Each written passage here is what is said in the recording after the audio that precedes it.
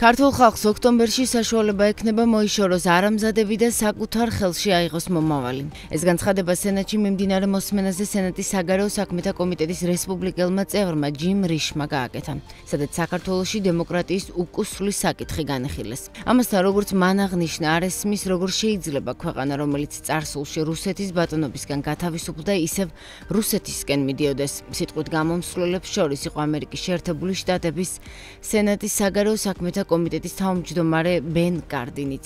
მისი თქმით, უცხოური გავლენის გამჭვირვალობის შესახებ კანონი წარმოადგენს რუსეთში მოქმედი კანონის ანალოგს, სწორედ მისგან არის შთაგონებული და ის მიზნად სამოქალაქო საზოგადოების შეზღუდვას ისახავს. კარდინი ამბობს, რომ კანონის მიზანია სამოქალაქო საზოგადოების დაშინება და საბოლოო ჯამში მათი ხმების ჩახშობა, ვინც მთავრობასთან უნისონში არ არიან.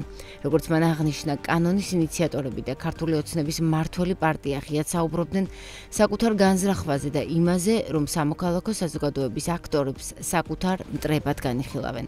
სენატში მოსმენაზე განცხადება გააკეთა სენატორმა ჯინ შაჰინმაც. მისი თქმით, ფაქტი, რომ ქართული ოცნების მთავრობა მზად არის ამერიკის შეერთებულ შტატებთან პარტნიორობის 30-ზე მეტი წელი მოისროლოს, რათა რუსეთის სამსახური გააგრძელოს, ნამდვილად ძალიან რთულად გასაგებია. სხდომაზე სენატორთა კითხვებს არასამთავრობო ორგანიზაცია საერთაშორისო გამჭვირვალობა საქართველოს დირექტორი ეკა გიგაური პასუხობდა. რუსებმა კურსკის ოლქში კონტრშეტევა დაიწყეს, ეს ჩვენი გეგმით მიმდინარეობს. ამის შესახებ უკრაინის პრეზიდენტმა ვოლოდიმირ ზელენსკიმ კიევში ლიეტუველ კოლეგა გიტანას ნაუსედასთან გამართულ ერთობლივ პრესკონფერენციაზე განაცხადა.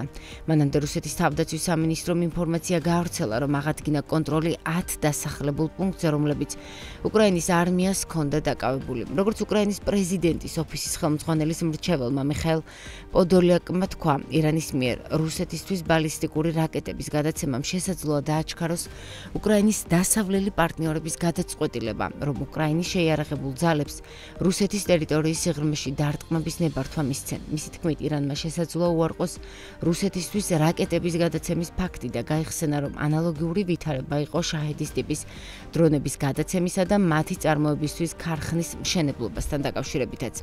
მისივე მტკიცებით არსებობს დადასტურება, რომ რუსეთი კასპიის ზღვის საშუალებით ცირე რადიუსის ბალისტიკურ რაკეტებს იღებს და ამას მნიშვნელოვანი შედეგები მოჰყვება ირანისთვის. უპირველეს ყოვლისა საუბარია ამერიკასა და ევროკავშირის სანქციებზე.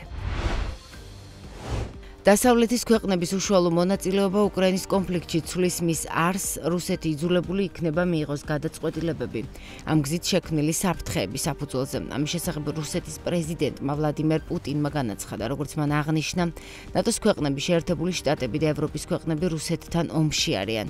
მისი თქმით, თუ კი ეს მოხდება, რუსეთი მიიღებს შესაბამის გადაწყვეტილებებს იმ საფრთხეებიდან გამომდინარე, რომლებიც მას შეექმნება. ამასთან პუტინის განმარტებით, ნატოს ქვეყნები ამჟამად განიხილავენ არა მხოლოდ კიევის მიერ დასავლურ შორმანძილზე მოქმედი იარაღის შესაძლო გამოყენებას, არამედ წყვეტენ უშუალოდ ჩაერთონ თუ არა უკრაინის კონფლიქტში.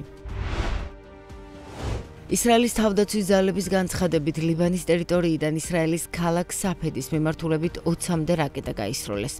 თავდაცვის ძალების ცნობით რაკეტების უმეტესობა მოიგერიეს ან ღია ტერიტორიებზე დაეცა. თავდასხმაზე პასუხისმგებლობა დაჯგუფება ჰეზბოლა მაიღო. ამ დროისთვის არსებული ინფორმაციით არავინ დაშავებულა. მეხანძრე მაშველებს რამდენიმე საათი დასჭირდათ ბირიას ტყეში ხანძრის ჩასაქრობად, რომელიც ღამით სარაკეტო თავდასხმის შედეგად გაჩნდა. იენს სტოლტენბერგი მიუნხენის უსაფრთხოების კონფერენციის ახალი თავმჯდომარე გახდება. ამის შესახებ ინფორმაციას გამოცემა პოლიტიკო საკითხში ინფორმირებულ წყაროზე დახრდნობით ავრცელებს. ნორვეგიის ყოფილი პრემიერი და ნატოს ამჟამინდელი გენერალური მდივანი იენს სტოლტენბერგი აღნიშნულ თანამდებობაზე გერმანელ დიპლომატ კრისტოფერ ჰოისკენ ჩაანაცვლებს, რომელიც მიუნხენის უსაფრთხოების კონფერენციას ბოლო 2 წლის განმავლობაში თავმჯდომარეობს. ცნობისთვის სტოლტენბერგს ნატოს გენერალური მდივნის თანამდებობაზე 2024 წლის 1 ოქტომბერს ნიდერლანდების ყოფილი პრემიერი მარკ რუტე ჩაანაცვლებს. 10 სექტემბერს დონალდ ტრამპსა და კამალა ჰარის შორის საპრეზიდენტო დებატი გაიმართა, რომელიც ერთ-ერთ საკვანძო მომენტად შეიძლება იქცეს მიმდინარე წლის საარჩევნო პროცესში. დემოკრატმა და რესპუბლიკელმა კანდიდატებმა რამდენიმე ძირითად საკითხზე იმსჯელეს, მათ შორის ეკონომიკაზე, საგარეო პოლიტიკაზე, ჯანდაცვაზე, მიგრაციასა და სოციალურ გამოწვევებზე. ტრამპი თვლის, რომ დამაჯერებლად გაიმარჯვა კამალა ჰარისთან გამართულ დებატებში და მეტად მასთან დებატებში მონაწილეობას აღარ მიიღებს. კამალამ ყურადღება უნდა გაამახვილოს იმაზე, თუ რა უნდა გაეკეთებინა ეხებინა ბოლო თითქმის 4 წლის განმავლობაში. მესამე დებატები არ იქნება, განაცხადა ტრამპმა.